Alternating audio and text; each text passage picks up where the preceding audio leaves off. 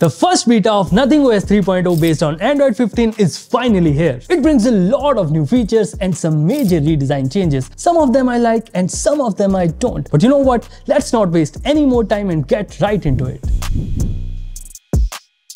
Visually, there's nothing major, but people whose OCD gets triggered easily will be happy to know that the inconsistent usage of N dot font has finally come to an end. Yes, you start noticing it from the setup screen to the clock above quick settings and finally into the settings page. This not only improves the consistency but also helps with readability. And yeah, the fingerprint scanner circle is slightly bigger and there's this new animation which looks really cool. Plus there's this new smiley that shows up when you restart the phone. First of all, you can now just long press on the lock screen to get to the customization, which is very convenient. Yeah, just like iOS. Once you're there, you get 5 new clock styles and the last one is inspired from London Metro clocks. These new clock styles also reflect in AOD, but it seems dimmer than Nothing OS 2.6. I'm not sure if it's intended or a bug. And in case you don't like this new clock style, you can just expand the widget area. And now you can have twice the number of widgets that you could add in Nothing OS 2.6. Lastly, lock screen widgets are placed slightly below for better accessibility. The number layout for pin unlock is redesigned and in case you're wondering, there are no new wallpapers.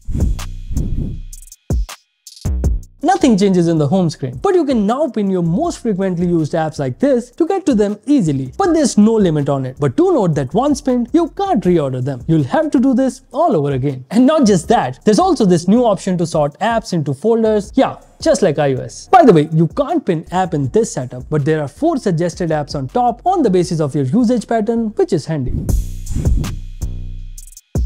When it comes to quick settings, there are a lot of changes. First of all, you can customize it completely. Yeah, just like iOS. For starters, you can now finally move the network and Bluetooth tiles, customize the pill-shaped tiles to the new rounded layout, place them anywhere you like, even at the bottom, and there are two new tiles for ring modes and a separate one for Glyph lights, which is better than holding the flashlight. But in case you still prefer the old style, you can just tap on this icon right here. In fact, I switched back to the old Bluetooth tile because it gives you more control than the new rounded tile. And with so much customization comes a lot of irresponsibility. And if you have customized way too much, don't worry there's a reset button. Lastly, you finally got the auto brightness toggle right here on the quick settings menu, which was a much requested features from a lot of users. Kudos to Nothing for listening.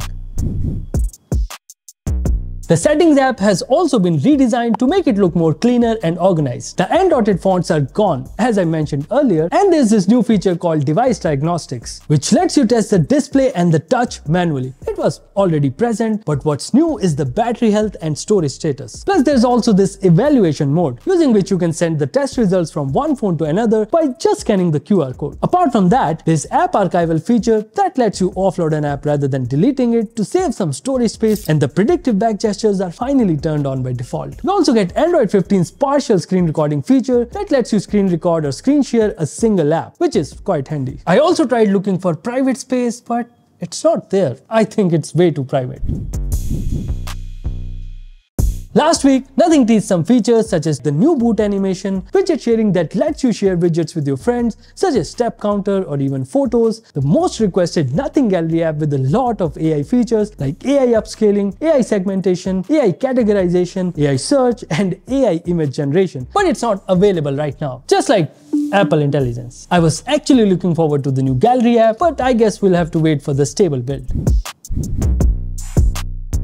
While this update brings a lot of new features and customizations, there are still some features that a lot of Nothing users expect. So let's just talk about them and maybe we get lucky. First of all, when you turn off the phone from the lock screen, it should always ask for a password. Because in case of a theft, it's a big loophole and it also prevents turning off by mistake. Secondly, the brightness slider should be just one swipe away because right now it's a lot of work. Finally, a native dialer app, circle to search, stacked widgets and the list can go on and on so which new feature are you excited for? Tell us in comments and I'll see you in the next one.